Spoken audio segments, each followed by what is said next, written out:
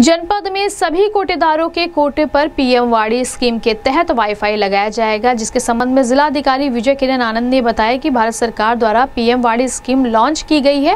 पहले landline phone के लिए पीसीओ ऑपरेटर होते थे, अब फ्रेंचाइजी मॉडल पर कोटेदारों के वहाँ पीएम वाड़ी नेटवर्क लगाया जाएगा। इसमें कोटेदारों को भी अतिरिक्त आमदनी होगी।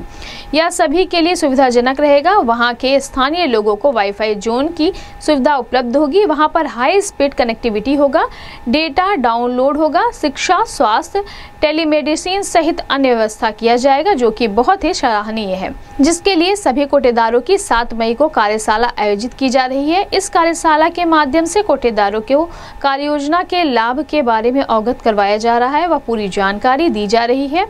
बीएसएनएल के सहयोग से पूरे जनपद में लॉन्च करके अग्रणी व्यवस्था बनाई जा रही है। इस संबंध में गोरखपुर न्यूज़ से बात करते हुए जिलाधिकारी विजय किरण आनंद ने कहा।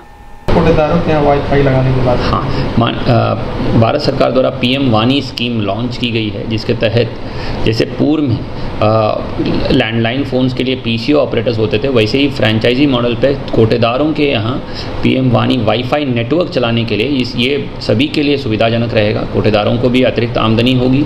वहाँ के स्थानीय लोगों को वाईफाई जोन्स उपलब्ध हो जाएँगे, जिससे हाई स्पीड कनेक्टिविटी हो जाएगी डेटा डाउनलोड्स हो जाएगा, शिक्षा, स्वास्थ्य, टेलीमेडिसिन आदि व्यवस्थाओं के लिए हम व्यवस्था कर सकते हैं। इस तरह की बहुत सुविधाजनक एक योजना लॉन्च की गई है, जिसके लिए अभी सात तारीख को सभी कोटेदारों की कार्यशाला आयोजित की जा रही है, उनको अवगत कराया जा रहा है। इसके लाभ के बारे में इसकी बारीकियाँ, तकनीकी जानकारी दी जा रही है। बीएसएनएल के सहयोग से इसको पूरे जनपद में लॉन्च करके गोरखपुर जनपद में अग्रणी व्यवस्था बनाने के लिए कोशिश की जा रही है।